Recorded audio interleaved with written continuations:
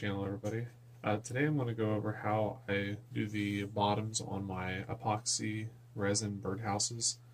Uh, this is just the basic birdhouse that I was turning yesterday. I went ahead and drilled the entrance hole and then I drilled through the bottom. Now what I'm going to do, all these are the same, they're just different designs going to go ahead and coat the inside of this birdhouse to make sure it's protected in case somebody wants to put it outside because this is glow in the dark resin. And I'm going to coat the inside of it and then I'm going to fill it a little bit turn it upside down and clamp it against this silicone. What that'll do is that'll create a flat bottom for it. Then I can throw it back on the lathe smooth it out sand it and finish it. Okay so I've got my resin mixed and stirred up I'm going to go ahead and paint the insides of all these. Now I've got, this one is apple wood. Um, this is off of an old dead apple tree that I pulled out of the, the woods outside. and these two are apricot. So I just used apricot log that I had from when I cut the, the tree down a little bit last year. Same as this white one. Blow some of the dust out of there. So I'm just going to coat the insides of these. Doesn't have to be perfect. Not going to see it. So I just need to coat it so I don't have to finish it on the lathe. And once it's sealed up with the bottom on, I won't be able to do that anyways. So go ahead and dip a little bit of this resin in here.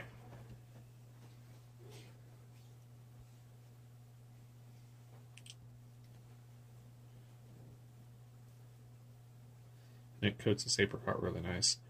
I did a goblet um, about five or six months ago, and using the resin on the apricot wood really makes it look good. now, I did not sand this inside, I just drilled it. Again, you're not going to see any of this from the outside of the birdhouse once it's done, so it's just an extra step that I feel is a waste of energy, so I didn't do it. And once I have a nice good coat on here, make sure the wood's all soaking it up.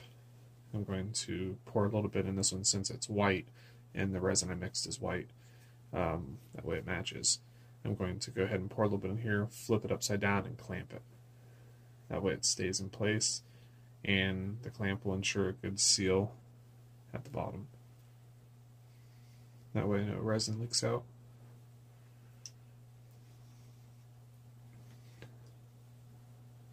So you can kind of see in there a little bit. Alright, that one's done. I'm going to go ahead and do the other ones on the inside so I can just flip them all over at the same time.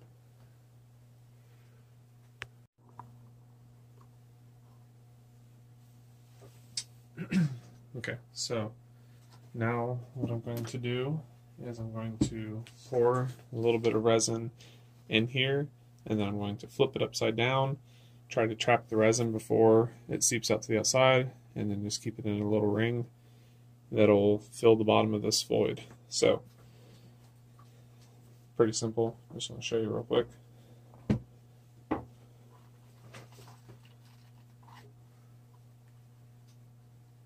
Had a couple more projects I was doing here in the back. Got some coasters for my nieces. They're going to enjoy them. One's a ladybug and one's a honeybee. So, alright, just kind of guesstimating how much resin to pour. Suppose when it's about where the side hole is, that's a good estimate of how deep it's going to be when I flip it around. Oops.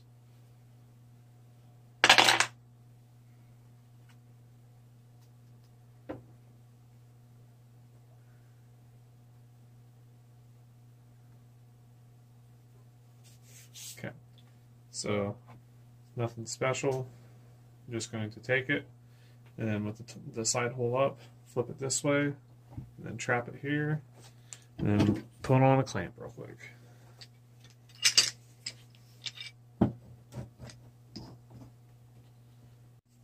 Alright, so you can see at the bottom the resin is fallen down and it's going to create a white bottom for this white birdhouse. Alright, so I've mixed up some green I'm just going to stir it a little bit more.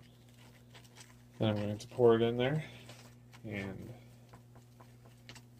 hopefully, when I put the blue in on this it's going to be close enough to the other birdhouse color. So we'll see. Just pour some in. That looks good.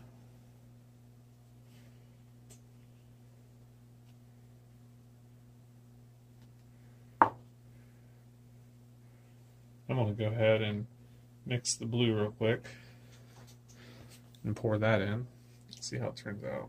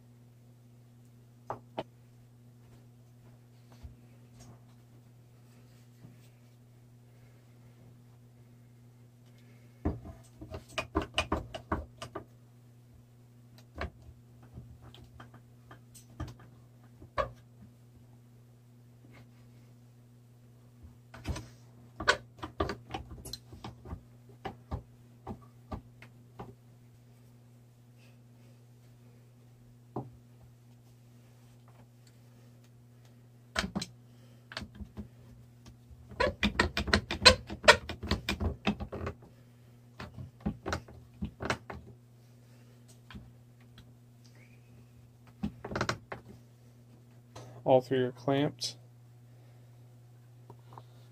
Now I just wait. Uh, probably tomorrow I'll take them off, make sure they're all dried, and put them back on the lathe and finish them. So, if you guys enjoyed this, make sure you guys give it a thumbs up. Make sure you subscribe to the channel, it really helps me out. And until next time, this is the easy way to do things. We'll see ya.